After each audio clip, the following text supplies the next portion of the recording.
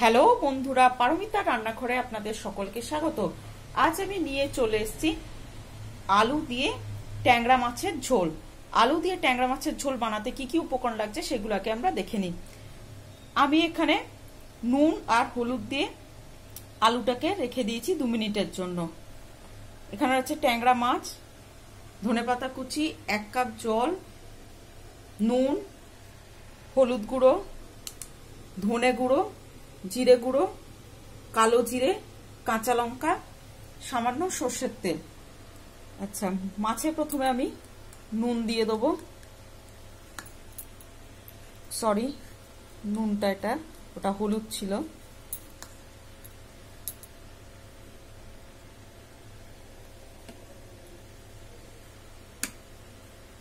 সামান্য কাঁচা সর্ষের তেল ওপর দিয়ে ছড়িয়ে দিলাম। কারণ কি ট্যাংরা মাছ ভীষণ ফাটে।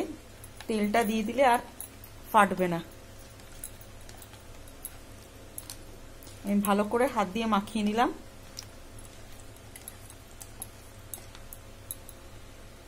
এরপর আমি ফ্রাইং প্যানটা চালিয়ে দেবো।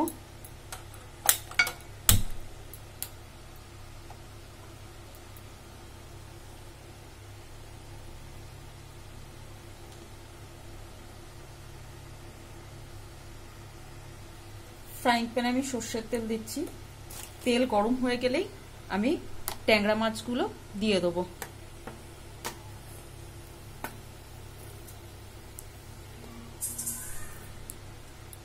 তেলটা গরম হলেই আমি ট্যাংরা মাছগুলো ছেড়ে দেবো। তেল গরম হয়ে গেছে, এরপর আমি ট্যাংরা মাছগুলোকে দিয়ে দেবো।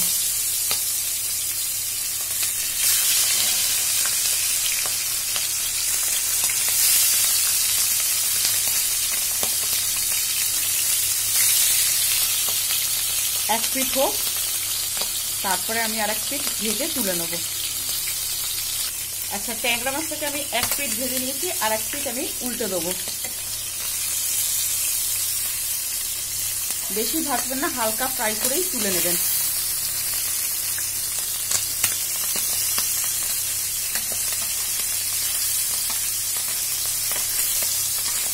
এবার এই সাইডটা ভাজা হয়ে গেলে আমি তুলে নেব। সব কটা ট্যাংরা মাছকে আমি ভেজে তুলে নিয়েছি। এবার আমি আলুগুলো ভাজতে দেবো। ওই সেম তেলেই আমি আলুটা ভাজতে দেবো।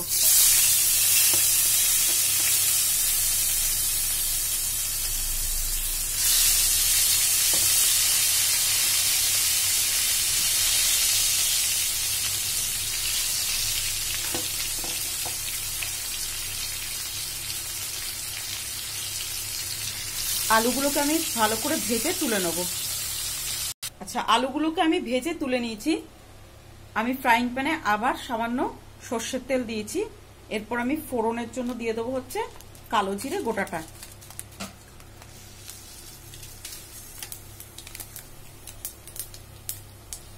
এক মিনিট মতো আমি ভেজে নেব। দিয়ে আমি ভাজা আলুটা দিয়ে দেবো। কালো জিরে থেকে খুব সুন্দর একটা গন্ধ বেরিয়েছে। এরপর আমি দিয়ে দেবো হচ্ছে ভাজা আলুগুলো।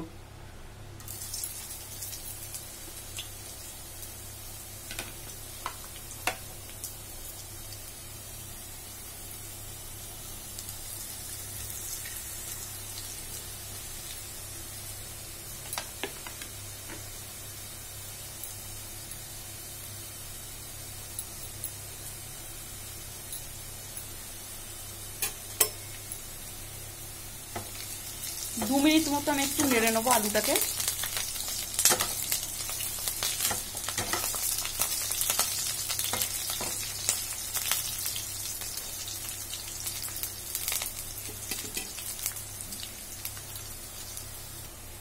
আলুটাকে আমি ভেজে নিয়েছি দু মিনিট মতো। এরপর আবার আমি দিয়ে দেবো হচ্ছে হলুদ গুঁড়ো।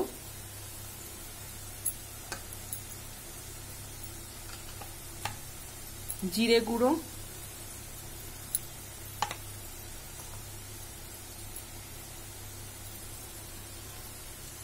ধনে গুঁড়ো। নুন সামান্য দিয়ে মশলাটাকে আমি ভালো করে কষিয়ে নেব। মশলাটাকে আমি ভালো করে কষিয়ে নিয়েছি, এরপর দিয়ে দেবো হচ্ছে সামান্য জল।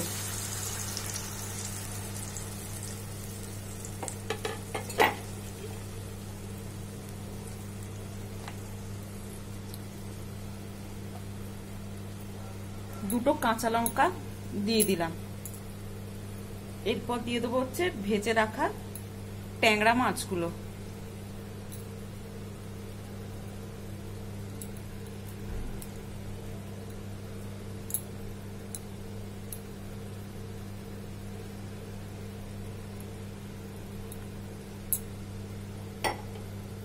আরও খানিকটা জল দিয়ে দিলাম।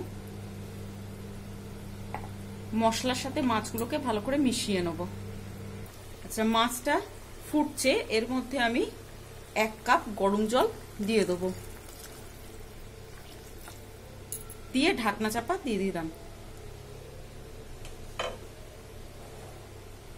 পনেরো মিনিটের জন্য আমি ঢাকনা চাপা দিয়ে দিলাম। পনেরো মিনিট পরে আবার আমি ফিরে এলাম। এবার আমি ঢাকনাটা খুলে দেবো।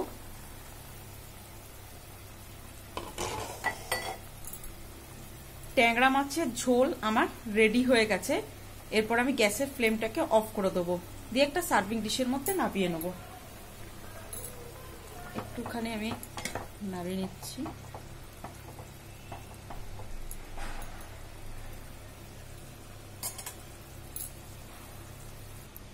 রেডি হয়ে গেছে আমার গরম গরম আলু দিয়ে ট্যাংরা মাছের ঝোল। এটার ওপর দিয়ে আমি কাঁচা লঙ্কা দিয়ে দেবো। আর ধনে পাতা কুচি ছড়িয়ে দিলাম।